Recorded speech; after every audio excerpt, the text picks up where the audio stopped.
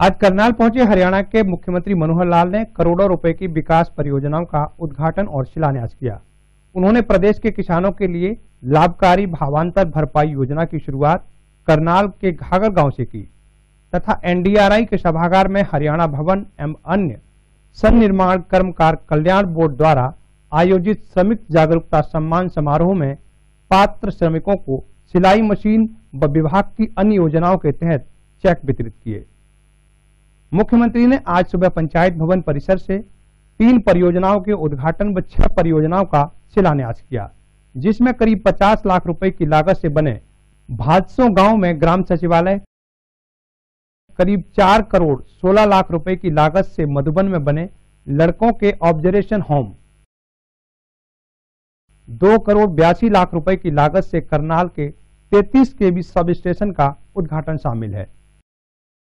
इसी प्रकार मुख्यमंत्री ने करीब 35 करोड़ तिरासी लाख रुपए की लागत से बनने वाली कुंजपुरा करनाल कैथल रोड।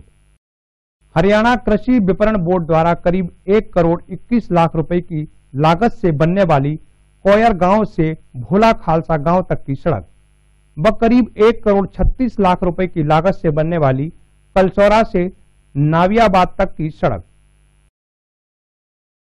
करीब एक करोड़ पचपन लाख रुपए की लागत से बनने वाली असंज से मूल गाँव की सड़क। तथा करीब एक करोड़ अठहत्तर लाख रुपए की लागत से नगर निगम परिसर में सीवरेज व एसटीपी प्लांट व एक करोड़ तिरासी लाख रुपए की लागत से बनने वाली करनाल के सेक्टर चौदह, छह और सात के बरसाती पानी की निकासी की परियोजनाओं का शिलान्यास किया।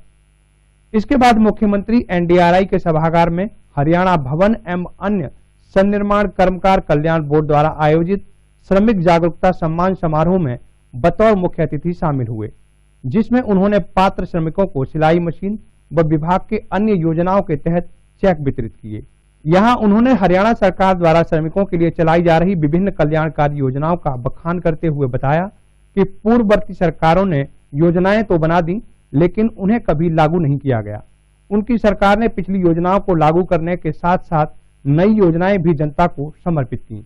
उन्होंने कहा कि पहले श्रमिक कल्याण योजनाएँ केवल कागजों में थीं, अब इन्हें धरातल पर लागू किया गया है। उन्होंने इस मौके पर भवन निर्माण में लगे श्रमिकों के बच्चों के लिए प्रदेश में एक स्किल एकेडमी बनाने की घोषणा करते हुए कहा कि इससे उनके कार्य में निपुणता आएगी। कार्यक्रम में ज़िले की सात सौ अठहत्तर महिलाओं को 11 करोड़ रुपए की राशि व 500 सिलाई मशीनें वितरित की गईं। मुख्यमंत्री ने 1 जनवरी से गरीब परिवारों को 20 रुपए लीटर शुद्ध सरसों का तेल व चीनी 13 रुपए किलो देने की भी बात कही। देखिए प्रदेश का प्रदेश का श्रमिक कैसे खुशहाल हो, इसकी बहुत सी योजनाएँ हमारी सरकार की हैं और उन योजनाओं को क्रियान्वित करने के लिए हमने इस प्रकार के कार्यक्रम जिलानुसार रखे हैं। आज करनाल ज़िले की 748 बहनों को लगभग 11 करोड़ रुपए की राशि ये वितरित की, की जा रही है और ऐसे 500 बहनों को सिलाई मशीनें ये दी जा रही हैं ताकि सिलाई मशीनों के माध्यम से अपने परिवार के रोज़गार में वो और आगे बढ़ सकें और इस प्रकार की योजनाएँ सभी अंत्योदय योजना योजना के अंतर्गत सारे प्रदेश में चलाई जा रही हैं। अभी तक पिछले तीन साल में लगभग ढाई सौ करोड़ रुपए का वितरण किया जा चुका है और इस को हम इसलिए कर रहे हैं कि हमारे जो गरीब परिवार हैं, श्रमिक परिवार हैं, उनका कल्याण हो, उनके बच्चों की पढ़ाई की दृष्टि से, उनको स्किल डेवलपमेंट की दृष्टि से, ताकि उनको किस प्रकार से अपने रोज़गार में सहायता हो सके, ऐसी बहुत सी योजनाएँ चल रही हैं।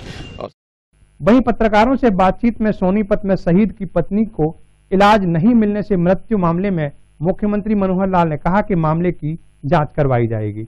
सोनीपत में एक कारगिल शहीद की बीवी की मौत हुई है आधार कार्ड की वजह से हॉस्पिटल ने आधार कार्ड मांगा था। आ, हाँ, उसकी मैंने जानकारी मुझे मिली है लेकिन उसका आ, कोई ना कोई उसका यानी उसकी इंक्वायरी कराएँगे हम ताकि जिसका कोई दोष होगा उस दोषी को सजा प्रदेश में कई तरह से हॉस्पिटल है जहाँ पे कार्रवाई मुख्यमंत्री ने आज ही करनाल के गांगर गाँव से प्रदेश के किसानों के लिए लाभकारी भावांतर भरपाई योजना की शुरुआत की।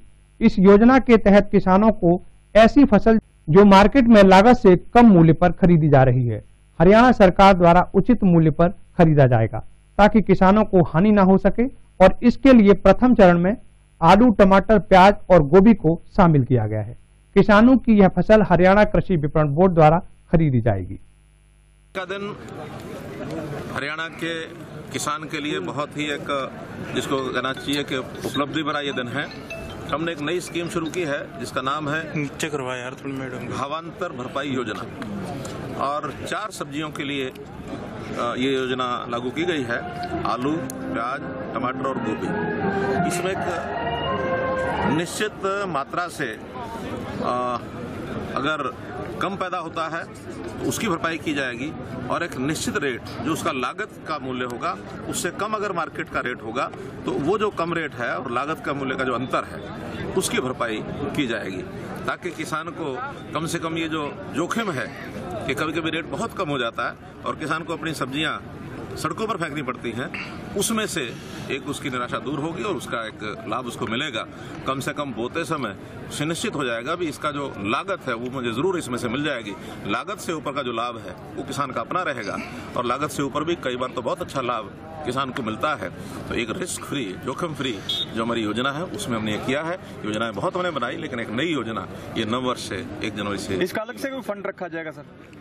इसका प्रारंभ में कुछ सालों के लिए अलग से एक फंड सरकार की ओर से रखा जाएगा और उसके जो परिणाम आएँगे, उस परिणामों के बाद फिर आगे विचार किया जाएगा, इस फंड की उपलब्धि कहाँ से हो वहीं आज मुख्यमंत्री मनोहर लाल खट्टर गत दिनों शहीद हुए, हरियाणा के बेटे प्रगट सिंह की श्रद्धांजलि सभा में शामिल हुए। इस मौके पर मुख्यमंत्री ने कहा कि शहीद प्रगट सिंह के परिजनों को राज्य सरकार की ओर से दो दिन पहले उनके बैंक खाते में 50 लाख रुपए की आर्थिक सहायता दी जा चुकी है और शीघ्र ही उनकी पत्नी को नौकरी भी दी जाएगी।